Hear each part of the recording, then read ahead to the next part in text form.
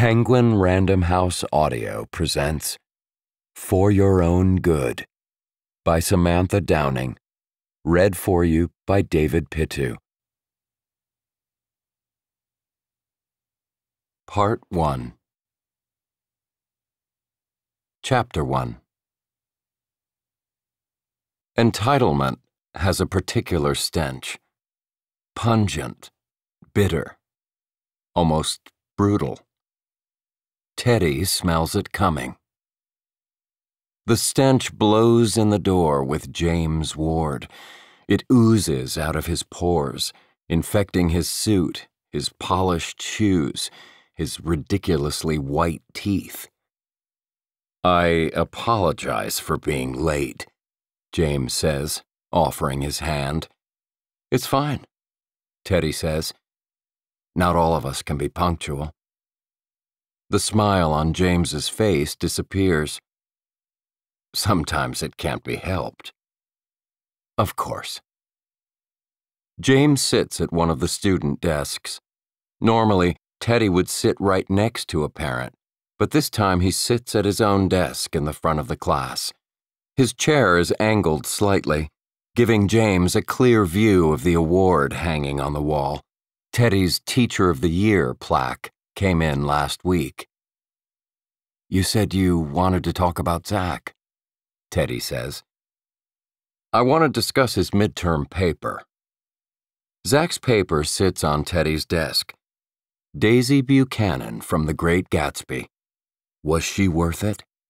Along with Teddy's rubric assessment, he glances up at James, whose expression doesn't change. An interesting topic. You gave him a B plus. Yes, I did. James smiles just enough. Teddy.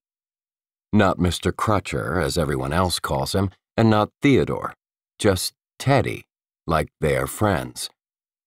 You know how important junior year grades are for college. I do. Zach is a straight A student. I understand that.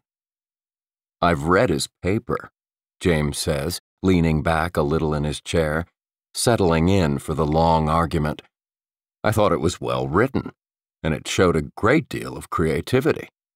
Zach worked very hard to come up with a topic that hadn't been done before. He really wanted a different perspective on a book that's been written about ad infinitum. Ad infinitum. The words hang in the air, swinging like a pendulum. All true, Teddy says, but you still gave him a B plus. Zach wrote a good paper, and good papers get a B. Exceptional papers get an A. Teddy picks up the rubric and holds it out toward James. You can see the breakdown for yourself. Grammar, structure, mechanics, it's all here. James has to get up to retrieve the paper, which makes Teddy smile inside. He folds his hands and watches, as James starts to read, his phone buzzes. He takes it out and holds up a finger telling Teddy to wait, then gets up and walks out of the classroom to take the call. Teddy is left alone to think about his time, which is being wasted. James asked for this meeting. James specified that it had to be after hours in the evening. This is what Teddy has to deal with from parents, and he deals with it ad infinitum. He stares at his own phone, counting the minutes as they pass, wondering what James would do if he just got up, walked right past him, and left. It's unfortunate that he can't. If Teddy walks out, James will call the headmaster and complain. The headmaster will then call Teddy and remind him that parents pay the bills, including his own paycheck.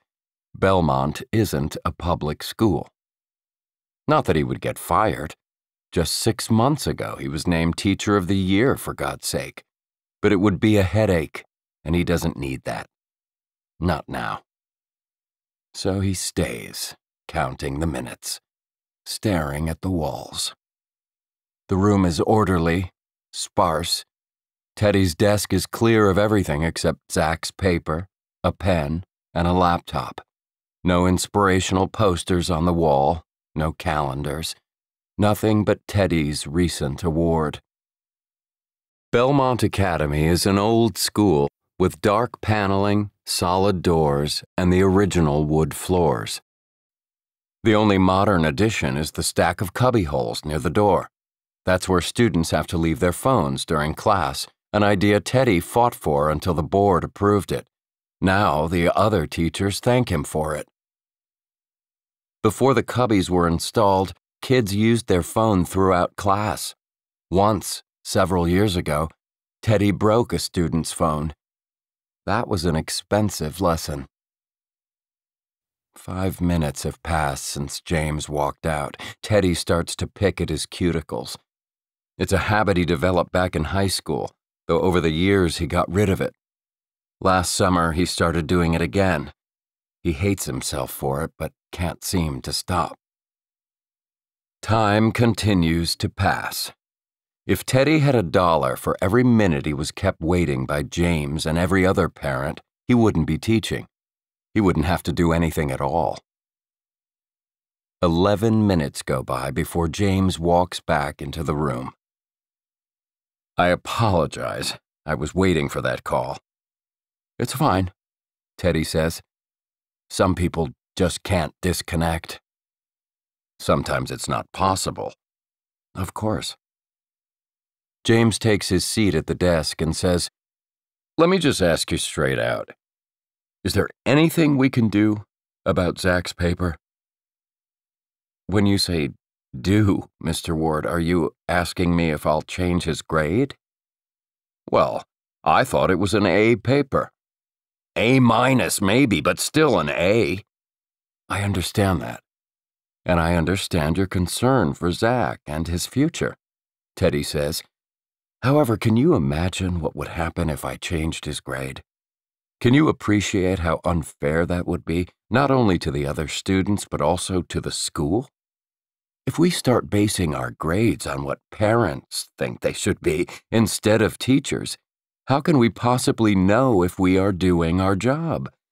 We couldn't possibly know if our students were learning the material and progressing with their education. And that, Mr. Ward, is the very foundation of Belmont. Teddy pauses, taking great joy at the dismayed look on James's face. Not so arrogant now. So no, I will not change your son's grade and threaten the integrity of this school. The silence in the room is broken only by the clock. The minute hand jumps forward with a loud click. James clears his throat. I apologize. I didn't mean to suggest anything like that. Apology accepted. But James isn't done yet. They never are. Perhaps there is some extra work Zach can do, even if he has to read a second book and write another paper? Teddy thinks about this while staring down at his hands. The cuticle on his index finger already looks ragged, and it's only the middle of the term. Perhaps, he finally says. Let me give it some thought. That's all I ask. I appreciate it. So does Zach. Zach is a smug little bastard who has no appreciation for anything or anyone except himself. That's why he didn't get an A. His paper was good, damn good, in fact. If Zach were a better person, he would have received a better grade. Chapter 2 Teddy's old Saab is the only car left in the parking lot. Everyone else has cleared out, including the sports teams and the other teachers. Tonight, he's the last one. He unlocks the door with his key, no electronic gizmos on this car, and sets his briefcase in the back seat. Mr. Crutcher? The voice makes Teddy jump. A second ago, the lot was empty, and now there's a woman standing behind him. I'm sorry, I didn't mean to startle you, she says. She is tall and curvy with dark hair, cut at the chin, and plum colored lips. She wears a simple blue dress, high heels, and what looks like an expensive handbag. He's seen enough of them to know. Yes? Teddy says, I'm Pamela Ward, Zach's mother. Oh, hello. Teddy stands up a little straighter. I don't think we've met before. We hope you enjoyed this preview. To continue listening to this audiobook on Google Play Books, use the link in the video description.